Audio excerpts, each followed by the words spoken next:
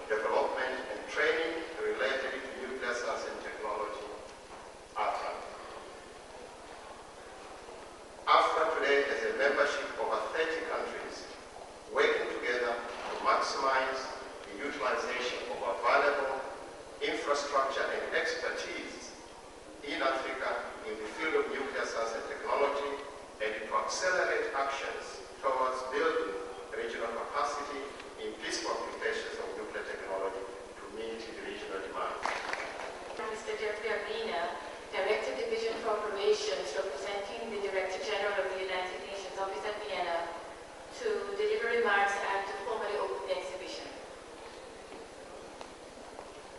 Thank you. Ambassador, it's a great pleasure to be present with you here. I had to beg Mr. Costa to let me do this specific event. Fortunately, I had the great opportunity, and unfortunately, he is not here. But I will represent him as best I can. My excitement about this event relates to my excitement about Africa and where we are today. Having had the pleasure of working there for the last three years with the United Nations Development Program as the deputy director of that program, it is clear to me, and if you read the specific declaration, Africa is turning a corner. The, uh, the, the declaration from Addis Ababa is a very proactive declaration. And for me, it's a statement that says that Africa will take the lead in its own development. Too often, it's been referred to by my colleagues, the thoughts have been negative, looking at the crisis, looking at the wars. But this statement says that we understand that the investments that we need to make in research and development will put African nations in the leadership role, and the AU has become a much more vibrant body to ensure this result. The foundation for this, the foundation for this is a strong R&D system, strong university systems, well-educated Africans who will lead the process of development, Africans who will be responsible for partnering with international investors, with international development agencies, with international banks, but who will lead the process to make it the most useful and relevant for the African nations themselves. Many things have happened in the last two years which set the stage for this, and I do harken back to the Gleneagles Summit and the promise of the donor community to provide 50 billion of new assistance by 2010.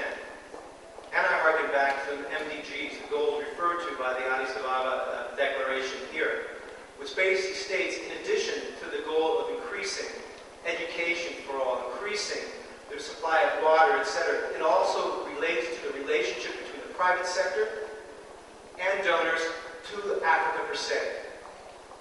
Goal number eight specifically relates to the importance of the private sector assuming more of a role in terms of corporate social responsibility. Addis Ababa also states very clearly that the African countries will lead based on the desire for innovation. And the innovation is waiting for us right around the corner. You see certain corporations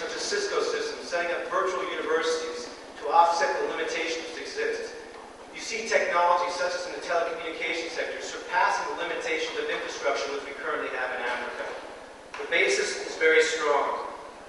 On the part of the UN system here in Vienna, and on behalf of Mr. Costa, I'm happy to note that the Office of Outer Space Affairs and, of course, UNODC stands ready to assist in the ways that we can.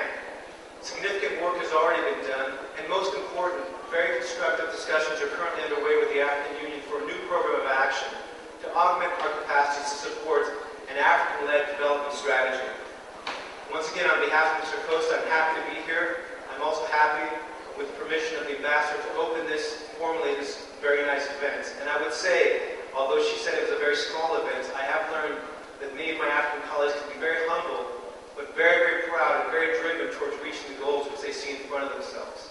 You will see a change, as was mentioned by my colleague from UNIDO, you will see a change, and it's already in the air when you visit African countries these days. So I welcome all of you here. Let's take the next step.